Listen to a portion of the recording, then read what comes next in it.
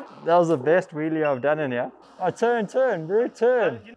Go, boy, go. So that must be pretty exciting. It's gonna be another another win. It's 10,000 square meters of KTM history. Hi everyone, um, I hope you're all doing really well and that you're getting to enjoy the winter while we wait for the first round of the 2021 MotoGP season. And in order to make the wait a little easier, we thought we'd make a very special preseason Inside Pass edition.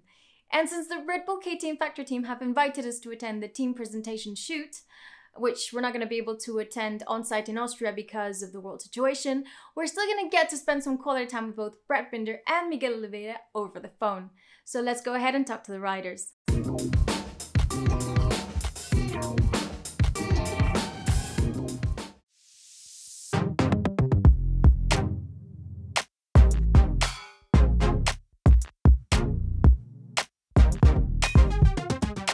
So I'm about to have a chat with Miguel Oliveira. So let's see if he's already ready for us. Oh, Hey Miguel! hey, hello. How's it going? Good, and you? How are you? Good, good. Uh, So you you are going to make the tour with us? uh, yes, please, because I've never been to the Motohall. This is uh, René Esterbauer. Rene is the, is the director here and Hi, Rene. manager on Hello, the museum. nice to meet you. You're in Austria because you're doing all of the pre-season like promotional work. And getting to do the tour is a bit of a bonus and that's why we're sort of tagging along with you.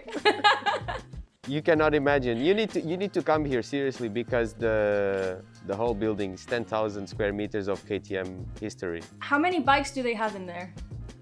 Yeah, at least 400. Basically, they're going to send some some bikes to my house because they are running out of space. Here is the history of our of our bikes. Um, the first one you see here, the, the KTM Apfelbeck um, from 1957. This is the first KTM Duke here. Wow. So here is our heroes area. Um, here are 28 selected heroes, made a good step and a, a good performance in the history of KTM. It is a privilege to be here. I hope I can make it with the MotoGP bike. The ultimate dream for any rider obviously is to, you know, get to the MotoGP class, but also to do it in a factory team. You're now a factory rider.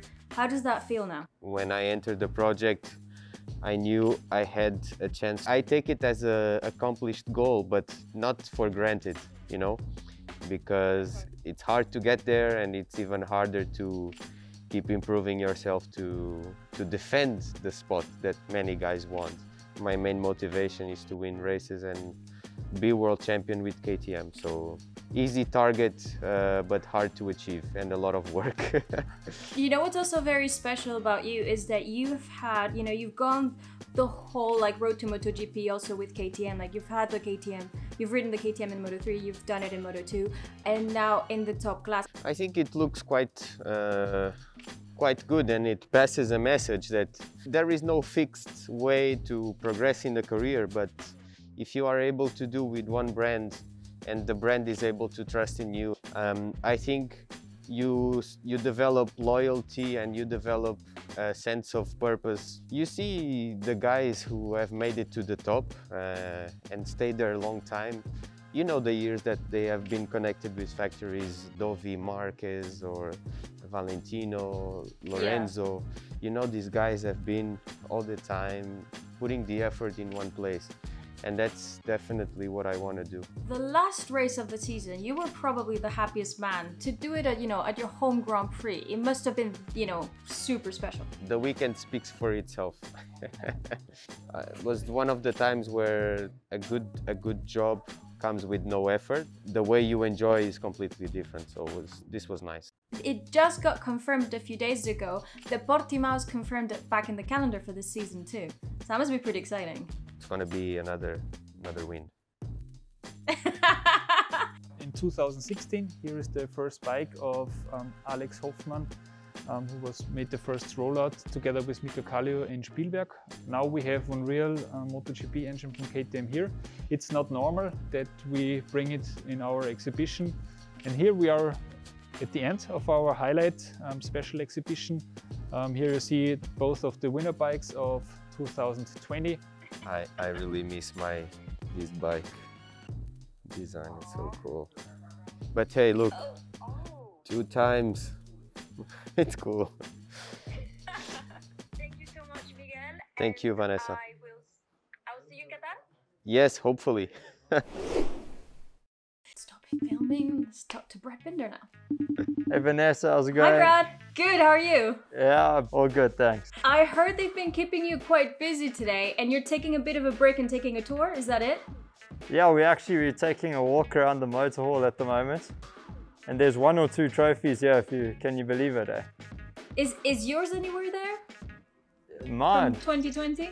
Hopefully over the years at least one of them ended up there. If, if you had to pick one of the bikes from the from the Heroes Hall, which one would you pick and why? To take home, geez, like how'd you choose one? I'll let you do top three. Well, it would be nice to. I'd take the one, the Moto 2 bike home for sure, and then uh, a Moto GP one, because then I have all three. Because I have the Moto 3 bike at home too. Okay, so you you're starting your own uh, museum back in at home in South Africa. Is that it? Hey, hopefully one day. Hopefully one day. Flip, I'm a bit taller, eh, in the thing here.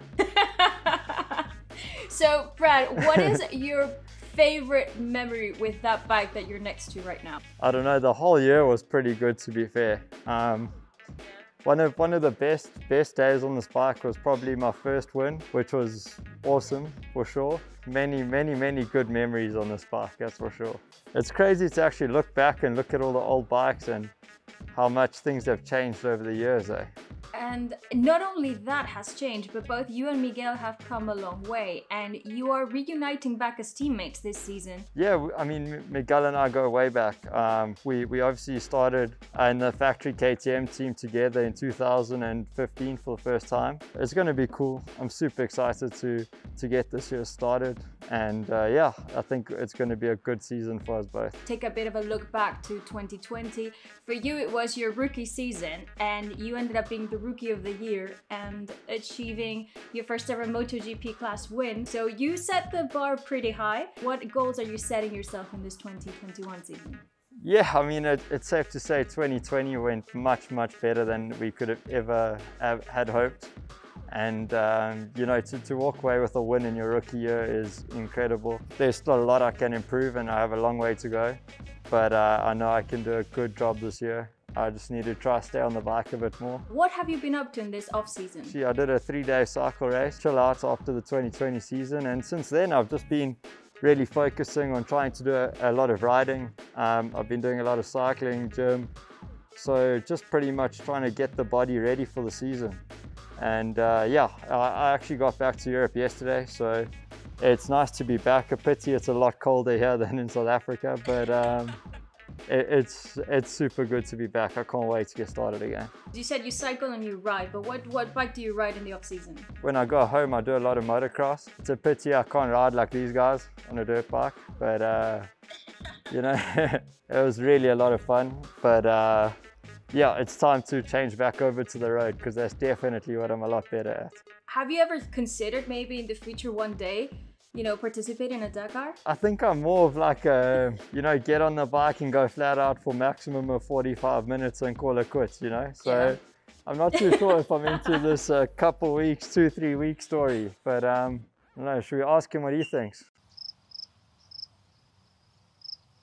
think we're gonna be waiting a while, man. I know you guys have a pretty tight schedule today, and they've been keeping you really busy. What have you been doing today? Sorry, I lost you there. I didn't catch what you were saying.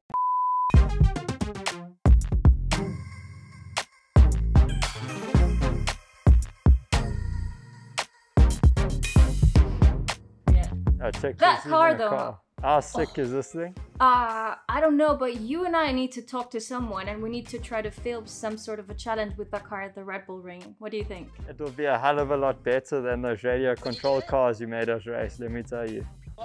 super flat. No, no, no. What is going on?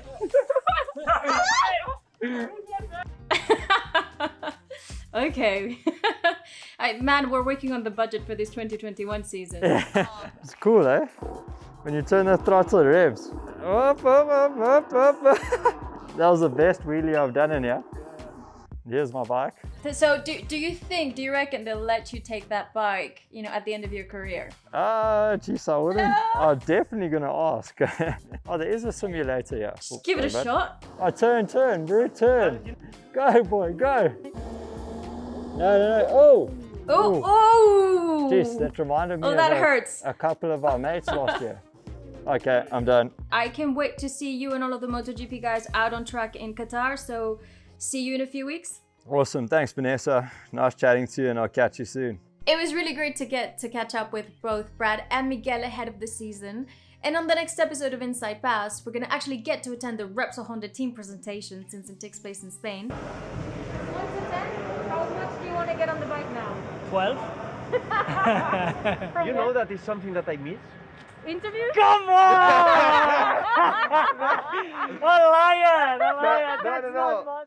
But not only that, because we're gonna be heading over to Cervera to speak with Marc Marquez in his hometown, and we're gonna head over up into the mountains to spend some quality time with Pol Espargaro. So if you don't want to miss out on any of that, you better subscribe to the Red Bull Motorsport YouTube channel so you don't miss this next episode of Inside Pass. See you next time.